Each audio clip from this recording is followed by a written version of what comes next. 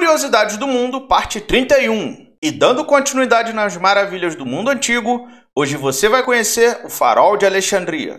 Fundado por Alexandre o Grande em 331 a.C., era uma imponente torre de sinalização luminosa, construída na ilha vizinha de Paros. Daí o nome Farol. No reinado de Ptolomeu II, o arquiteto grego Sóstrato de Sínido foi contratado para construir o farol e levou mais de uma década para terminar. Acredita-se que o farol tinha pouco menos de 140 metros de altura, que o torna a segunda maior estrutura feita pelo homem na antiguidade, depois da Grande Pirâmide de Gizé. A torre era composta por uma base quadrada, uma seção intermediária octogonal e uma parte superior cilíndrica, todas conectadas por uma rampa em espiral para que uma fogueira pudesse ser acesa no topo, supostamente visível a 48 quilômetros de distância. Com isso, seu design se tornou modelo para todos os faróis que foram construídos desde então. E no próximo vídeo, o Templo de Ártemis.